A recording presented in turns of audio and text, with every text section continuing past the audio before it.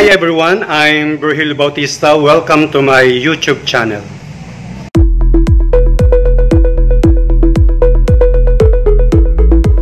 yung mga Marcos na negotiable din sa akin. Focus na ako sa sa laban namin. eh. Sa isang buwan, yung 40 times 4, di 1,600 bigas pa lang yun. Magandang umaga po sa inyong lahat. Ah, magbibigay lang po ako ng konting komento.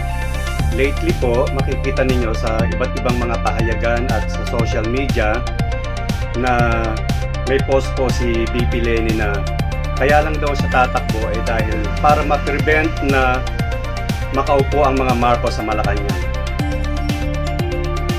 Hindi ko lang maisip ah, mawari kung bakit itong ah Lenny na to sobrang galit sa mga Marcos. Gayong wala namang ginawa sa kanya ang mga Marcos. Nirake ka ba ni Marcos? Sinaktan ba yung pamilya mo?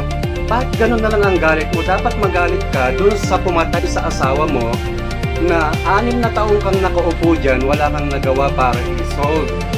Ha? Yun dapat ang unang ginawa mo nung pagkaupo mo. Eh, hindi rin. So, wala kasi kayong mga matitinding mga witness. So, para kamuhi, kamuhian mo ang mga Marcos, anong dahilan?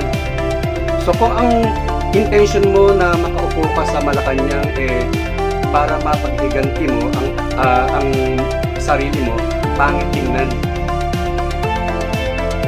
Alam mo, Ate Lenny, galit kasi ang namumuo sa puso mo. Alam mo, ah, sa Bible may sinasabi tungkol sa galit. Tingnan natin.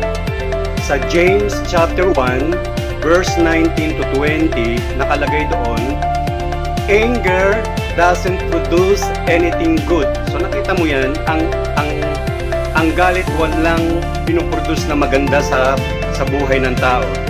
At meron pang isa sa James chapter 3 verses 6 to 8 anger root of many problems.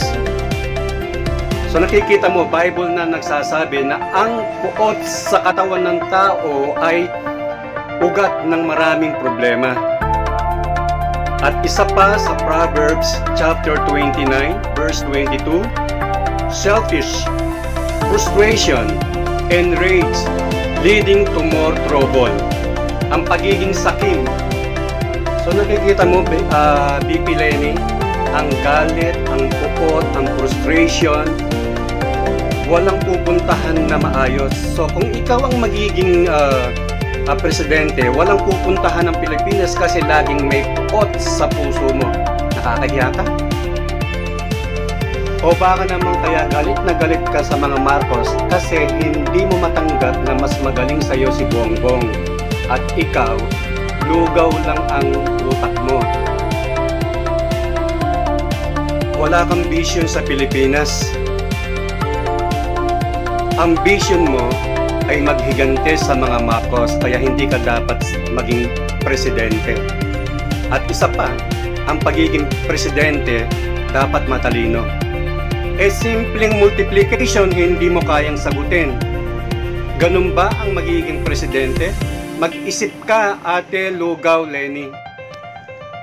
Malapit na po ang May ah, 2022 election sa mga kababayan na boboto. Isipan po ninyo kung sino ang karapat dapat na umupo. Yung pong may pagmamahal sa bansa. Yung pong may malasakit sa bansa para hindi po tayo malugmok sa ganitong proseso ng pamumuhay na laging may pandemic, laging may issue sa health, laging may problem sa ating mga foreign policies.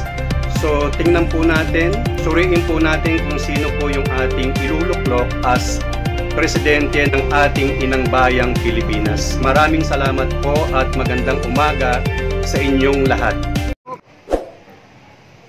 See you on my next video.